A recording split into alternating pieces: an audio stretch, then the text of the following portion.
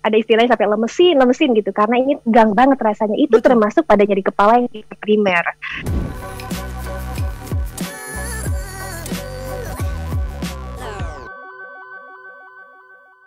Eh, tegang di leher belakang ini apakah juga bisa masuk di kategori nyeri kepala, Dok? Karena eh, sama-sama efeknya tuh sakit Mm-mm. di eh, atas Mm-mm. begitu.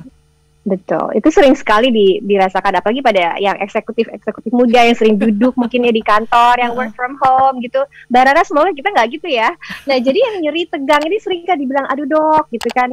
Ada istilahnya sampai lemesin, lemesin gitu karena ini tegang banget rasanya. Itu Betul. termasuk pada nyeri kepala yang tipe primer.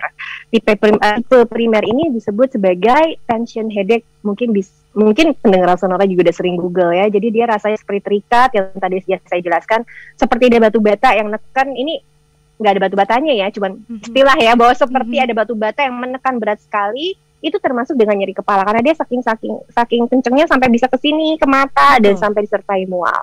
Kalau itu termasuk dari yang nyeri kepala tipe primer atau tension type headache. Mm-mm.